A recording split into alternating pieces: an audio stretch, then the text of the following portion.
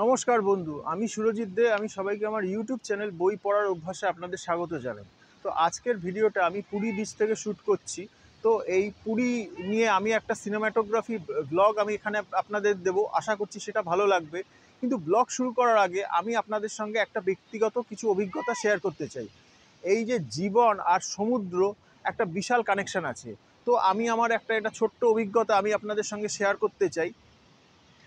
সেটা আজকে আমি আপনাদেরকে একটু বলব। তার আগে আমি আপনাদেরকে একটা কথাই বলব যে, আপনি আমার চ্যানেলকে সাবস্ক্রাইব করুন, যাতে আমি আপনাদের জন্য আরও ভালো ভালো ভিডিও বানাতে পারি। এবং আমাকে ইনস্টাগ্রামে ফলো করুন, সেখানে মূল্যবান মতামত সেখানে আপনি প্রেজেন্ট করতে পারেন। তো আসুন, এবার ভিডিও প্রসঙ্গে আসা যাক যে, জীবন এবং সমুদ্রের কি কানেকশান আছে। তো আমার জীবনে আমার মা বাবার অবদান বিশাল বেশি। তো আমার যিনি বাবা ছিলেন, বিশেষ করে আমি আমার বাবার কথা বলছি, তো আমার বাবা একটি প্রাইভেট কোম্পানিতে কাজ করতেন, খুব অল্প টাকা মাইনে পেতেন।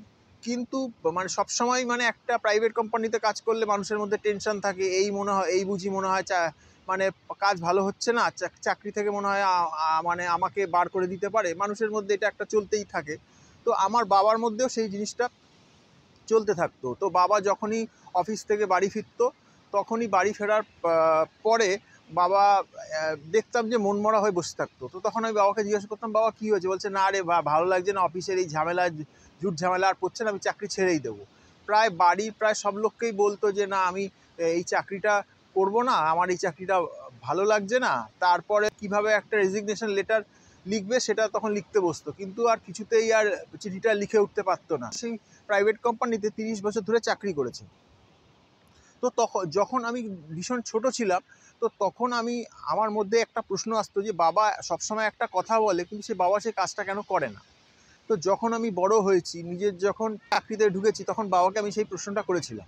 তো তখন আমাকে বাবা একটা কথা বলেছিল বলেছিল, দেখ, তুই যে প্রাইভেট কোম্পানিতে চাকরি করছিস, তোকে সেখানে কত টাকা মাইনে দিচ্ছে সেটা বড় কথা না। তুই যে কাজটা করছিস, সেই কাজটা সেই কাজটাকে তুই কতটা ভালোবাসিস?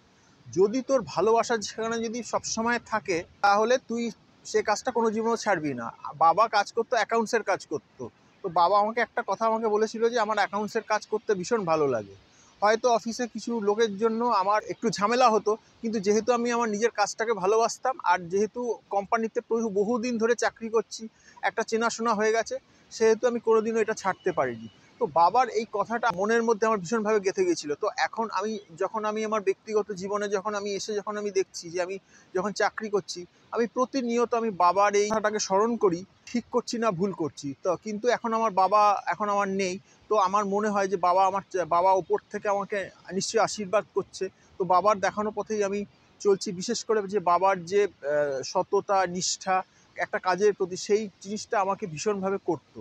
এখন ধরুন, আমরা আমরা তো সবসময় তো চাকরি করছি, আমরা নানান টেনশনের মধ্যে থাকছি, সংসারের টেনশন সব কিছু টেনশন সব স- কী হয় বলুন তো? মাথাটা মাথাটা না একটু মানে জ্যাম হয়ে যায়। এখন মাথাটাকে পরিষ্কার করার জন্য তখন কি হয় যে কোথাও একটু ঘুরে আসতে পারলে ভালো হয়। যেমন ধরুন, আমরা ধরুন আপনার, যেমন প্রতিদিন ফোনটাকে যেমন আমরা রিচার্জ করি, তেমনি নিজের মনটাকে রিচার্জ করার জন্য সব থেকে ভালো জায়গা হচ্ছে সমুদ্র। দেখুন, সমুদ্র যতটা গভীর আছে, সমুদ্র গভীর আছে এবং সমুদ্রের ভেতর কি আছে, আমরা কেউ জানি না। একটা মানে মানে প্রচুর জ্ঞানের ভাণ্ডার সমুদ্রে লুকিয়ে আছে। সেই জ্ঞানের ভাণ্ডার আমরা কেউ জানি না। তেমনি আমাদের, আমরা যারা ব্যক্তিগত জীবনে যারা, আমরা যারা সাধারণ মানুষ, আমাদের মানে প্রত্যেকের ভেতরে একটা অন্তর্নিহিত শক্তি লুকিয়ে আছে। সেই শক্তিটাকে আমরা কেউ বুঝতে পারছি না। আপনি পুরী বিচের সামনে এসে একটু নিজের সঙ্গে সময় কাটান, তো আপনি নিজের শক্তি সম্পর্কে সচেতন হতে পারবে। প্রকৃতি মানে প্রকৃতিকে আমরা ইচ্ছে করলে চ্যালেঞ্জ করতে পারি। যে আমাদের মনের জোর এত বেশি যে আমরা সব কিছু করতে পারি।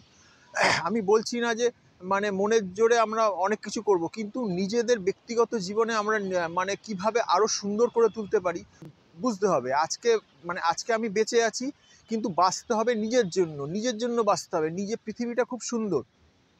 এই সুন্দর পৃথিবীটাকে দু চোখ দিয়ে দেখতে হবে। যত মানে আমি বলছি না যে অনেক টাকা খরচা করে বিদেশ বিভূতিতে ঘুরে আসুন, না না। অনেক ছোটোখাটো জায়গা আছে, সেখানে গিয়ে ঘুরে আসুন, নিজের সঙ্গে সময় কাটান, পরিবারের সঙ্গে সময় কাটান, সবার সাথে সময় কাটান। কিন্তু পরিবার থাকলেও কিন্তু একটা সময় বার করুন যাতে করে নিজের সঙ্গে সময় কাটাতে পারেন। এই যে আপনি যদি নিজের সঙ্গে সময় কাটাবেন, তখন আপনি দেখবেন, আপনি নিজেকে নতুন করে আবিষ্কার করতে পারবেন। এই যে এই যে যে হতাশা যে, এই যে বলছি না যে, এই যে মানুষের মধ্যে যে হতাশা যেটা হয়, আমার কাছে কি বলুন তো, এই হতাশাটা একটা কিছুই না, এটা একটা শুধু মনের ধারণা।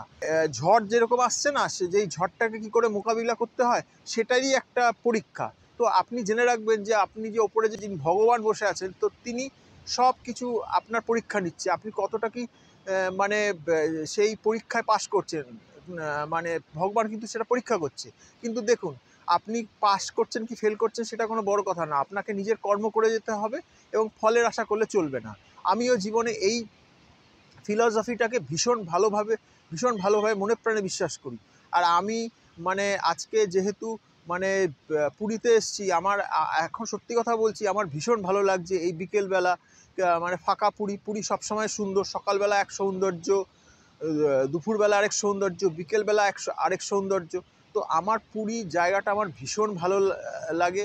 আর এখানে আসলে নিজেকে একটা নতুনভাবে আমি নিজেকে আবিষ্কার করি। তো আশা করছি যে আমি একটা ছোট্ট বক্তব্য রাখতে চেষ্টা করলাম। তো আমি আর বক্তব্যটাকে আর বেশি দীর্ঘায়িত কর- করব না। তো এখন আমি আমার ভিডিওটাতে, ওই সিনেমাটোগ্রাফি ভিডিওটা আমি আপনাদের সঙ্গে এখন শেয়ার, এই ভিডিওর মাধ্যমেই দেব। ভিডিওটা পুরোটা দেখতে থাকুন। আর সিনেমাটোগ্রাফি ভিডিওটা কেমন লাগল সেটা আমাকে জানাতে থাকুন।